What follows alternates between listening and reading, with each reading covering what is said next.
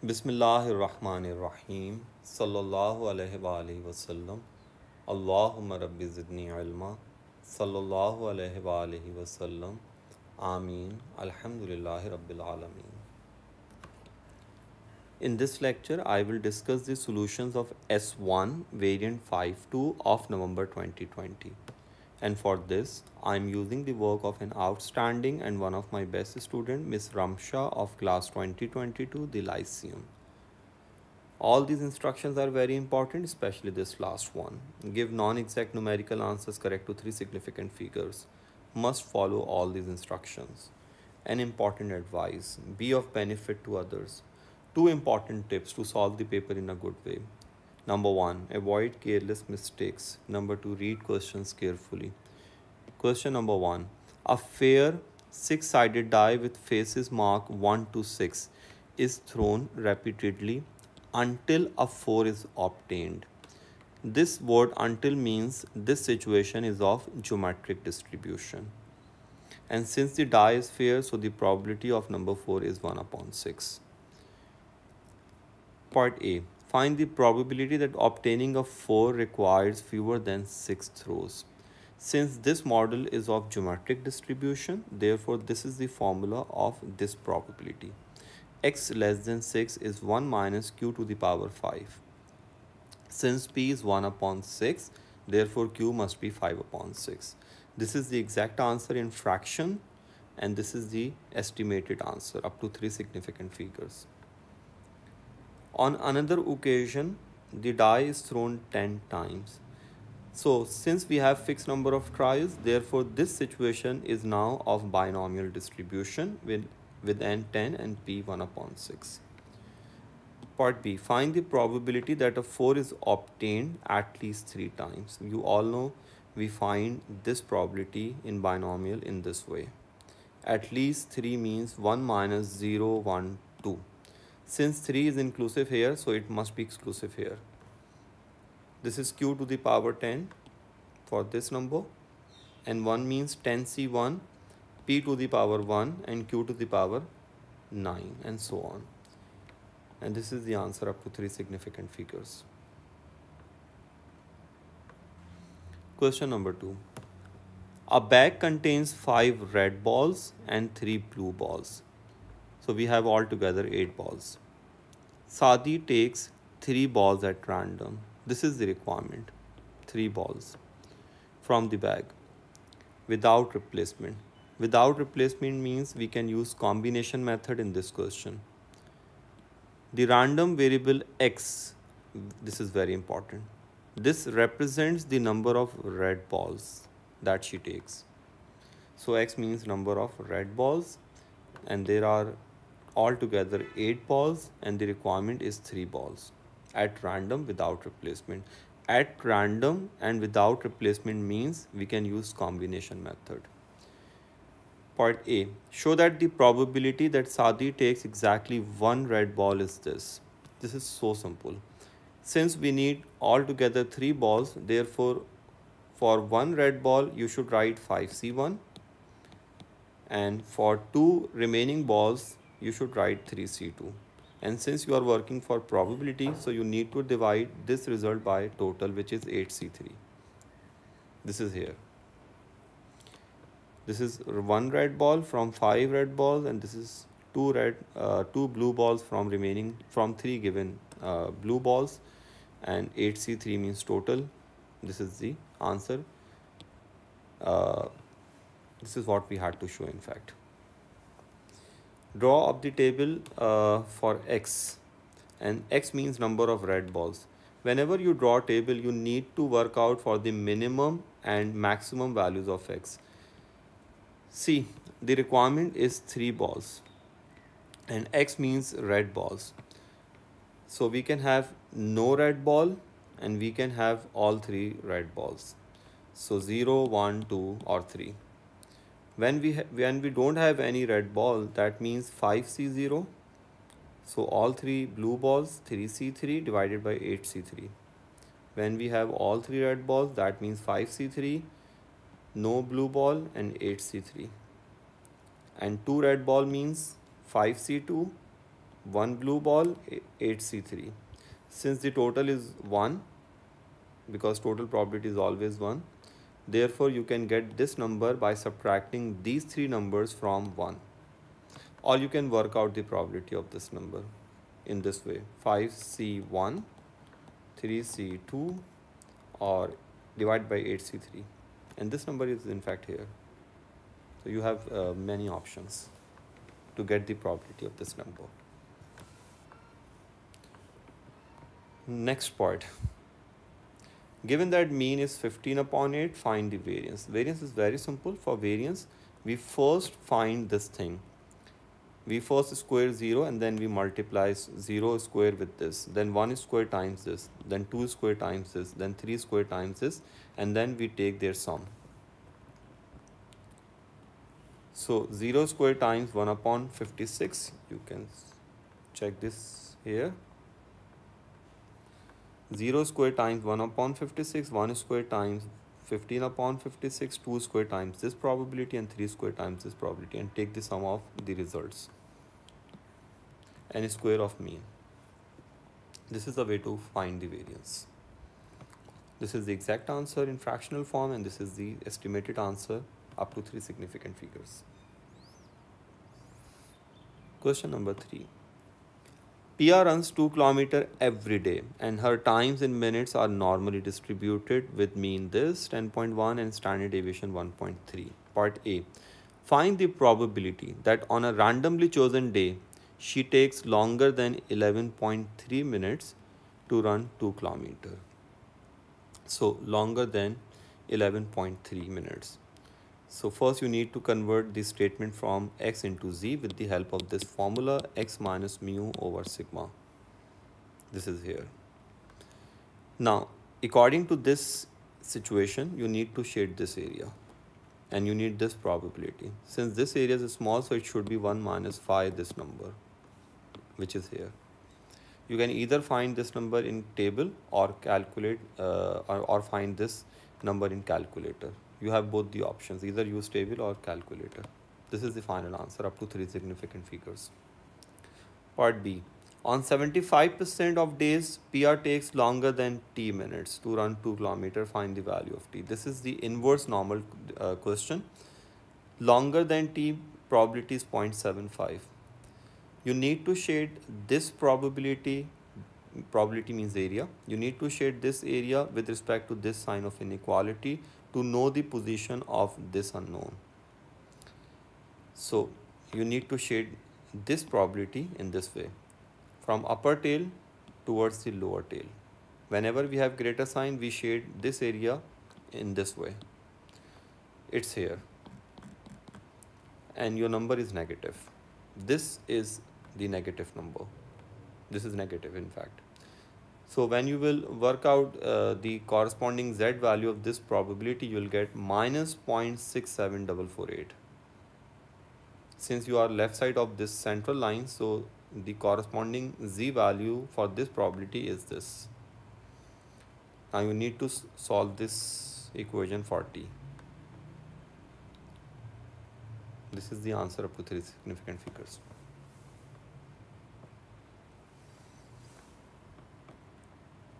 The next part of this question.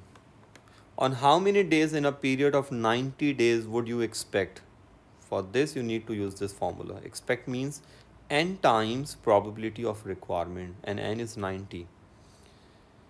Pia to take between 8.9 and 11.3 minutes. So you need to first get this probability and then you need to multiply your answer by 90. So when you will convert this statement into z, you'll get this thing. For positive number, we write phi. For negative, we write 1 minus phi. You can either use calculator or table to get the values of these phi's. This is the probability. You need to multiply this probability by this 90 to get the estimated number of days. So there are 58 days. Don't write 58.0, just write 58.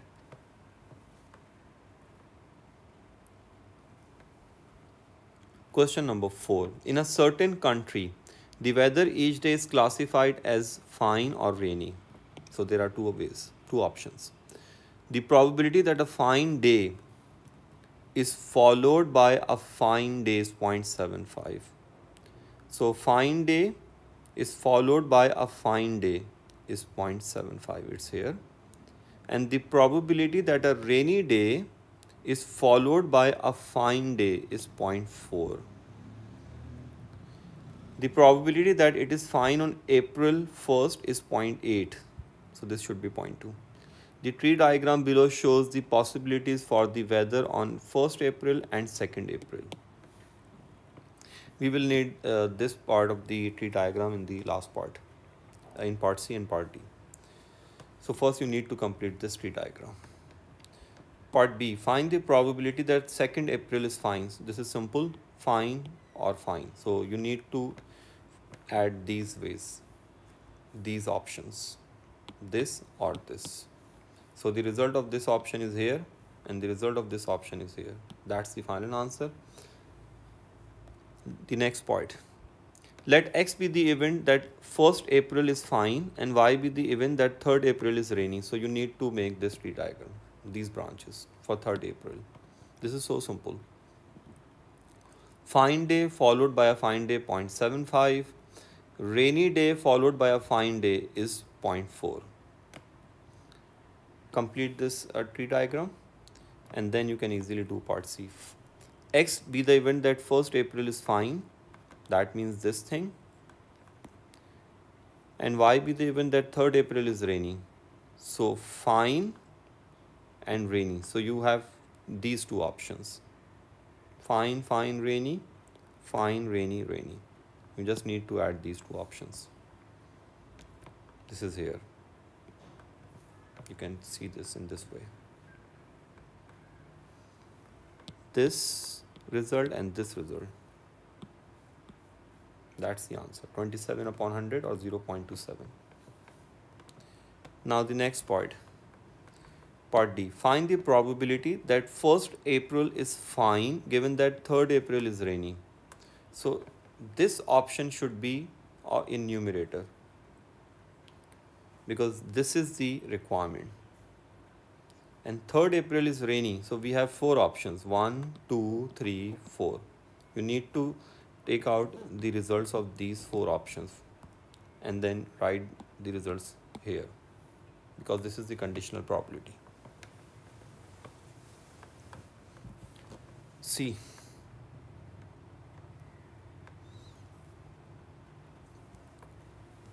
this option is here this option is here and sum of these two is here.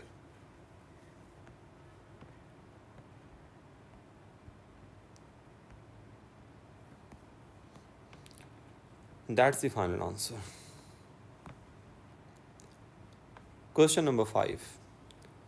The following table gives the weekly snowfall in centimeters for 11 weeks in 2018 at two sky resorts D and L. So these results are here.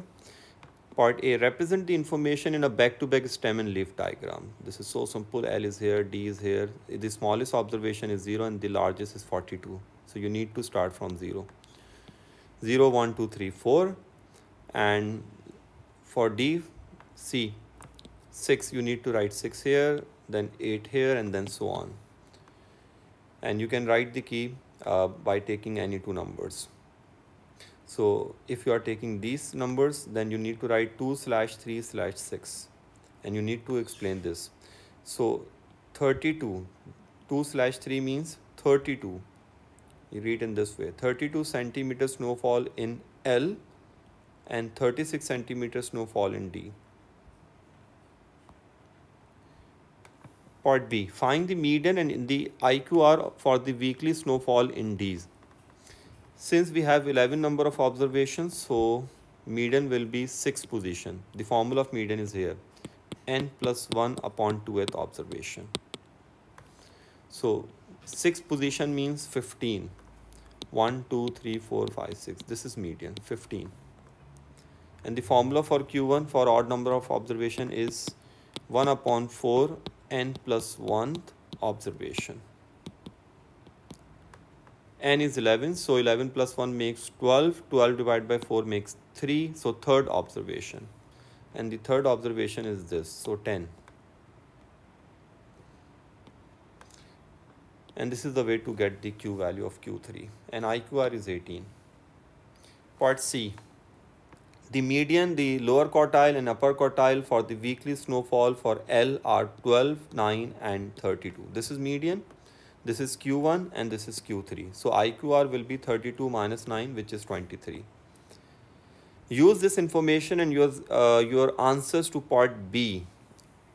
These answers to compare the central tendency that means median and the spread that means IQR of the weekly snowfall in D and L. So this is so simple. First you need to compare their medians. Median is for D is 15 and for L is 12. So on average, see median of D is greater than median of L. So on average, you must write on average because you are comparing their medians. There is higher snowfall in D than in L. Now you need to compare their IQRs. So IQR of D is 18 and IQR of L is 23. So more variation in L than in D. So you need to write in this way. There is more variation of snowfall in L than in D. Next question, number 6. Mr. and Mrs. Ahmed with their two children and Mr. and Mrs. Baker with their three children are visiting an activity center together. They will divide into groups for some of the activities. Part A. In how many ways can the nine people be divided into group of six and a group of three? So you must follow this order. First, you need to divide nine people in the group of into a group of six and then into a group of three. So 9C6 and then 3C3. This is here. So there are 84 ways. Five of the nine people are selected at random for a particular activity. Part B. Find the probability that this group of five people contains all three of the Baker children. So simple. There are three children of Baker. So 3C3. You need five people. So remaining two from 6. You need to select 2 people from remaining 6 because you need altogether 5. So you need to write 3C3 then 6C2 and divided by 9C5 because you are working for probability. That's the answer. Part C. All 9 people stand in a line. Find the number of different arrangements in which Mr. Ahmed is not standing next to Mr. Baker. Simple uh, its total minus together. First, you need to uh, arrange these two people together. So Mr. Ahmed and Mr. Baker are together. So there are two factorial ways for them to arrange them uh, for them to arrange themselves. And seven other people. So seven means eight factorial because this is one object and these are seven objects. So eight objects. So these are the total number of ways in which Mr. Ahmed stand Mr. Uh, Baker together next to Mr. Baker. 9 factorial means total. Total minus together will give you the requirement, not together. Next part. D. Find the number of different arrangements in which there is exactly one person between Mr. Ahmed and Mr. Baker. See, Mr. Ahmed is here and Mr. Baker is here. And one person means anyone can come here from remaining 7. So 7P1 for this person. And Mr. Ahmed and Mr. Baker can uh, switch their places. So 2 factorial for them. And there are 7 ways for this group to stand. This is just one way. This is the second way, third way, fourth, fifth, sixth, and seventh ways. This group can stand in seven different ways. So 7p1. And six remaining people can arrange themselves at, at random. So 1, 2, 3, 4, 5, 6 positions and 6 people. So 6 factorial. You just need to multiply this result by 6 factorial in order to arrange all 9 people with this restriction. These are the number of ways.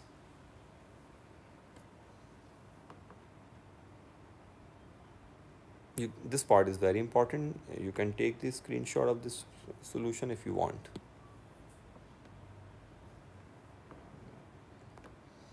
well this is all an important advice be polite all the best and I am extremely thankful to Miss uh, Ramsha who helped me to make this lecture. Indeed, she is an outstanding student. May Allah Pak bless her always. Ameen. May Allah Pak give her the best grades. Ameen. Allah Hafiz.